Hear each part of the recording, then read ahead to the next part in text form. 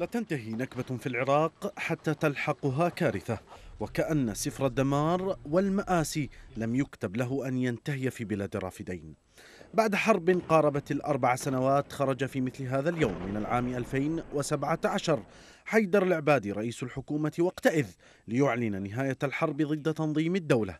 ولأن الحكومة اعتمدت تزييف البدايات فقد عمدت إلى تحريف النهايات. دخل تنظيم الدولة تلك المناطق وأخذ القوات الحكومية بعديدها الهائل وعتادها الضخم. على حين غرة فتهاوت فرق عسكرية ومنظومات أمنية في أيام قلائل خلال عهد نور المالكي سيء الصيت. عندها لم يكن من الاتهامات بد فأشار كل طرف على الآخر بأنه المتسبب بما جرى وفتح الملف الأشهر في العراق ملف سقوط الموصل وأغلق دون محاسبة أحد لكن الثمن الأغلى دفعه أهلها. بعد دخول التنظيم شكلت ميليشيات الحشد تحت إطار رسمي بفتوى من مرجعية النجف وظهر آخرون من الظلام وتكفلت الولايات المتحدة بالجو وإيران بالأرض فأخذت الحرب على التنظيم صبغة طائفية للانتقام من سكان مناطق بعينها تحت ذريعة الإرهاب.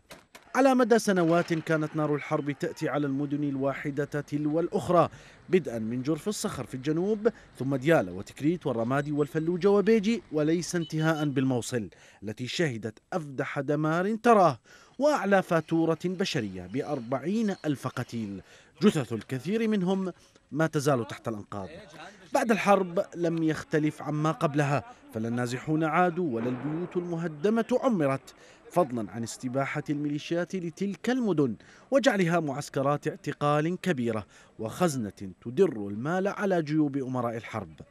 ملامح الانتقام تجلت بملف المغيبين قسريا الذي غاب عن طاولات عمل الحكومة وحضر في أذهان العوائل المكلومة وهم يتلقفون بين فترة وأخرى صدمات على شكل مقابر جماعية كما حدث في بابل من قبل واليوم في الصقلاوية. عامان مرا وجرح المدن المنكوبة ما يزال نازفا. ومعاناة السكان مستمرة متفاقمة. دفعوا ثمن حرب لم يكونوا طرفا فيها. ذنبهم الوحيد أن مدنهم تقع ضمن الخط الأصفر حلم إيران الكبير الذي بدأ يتهاوى تحت صيحات متظاهري ثورة تشرين.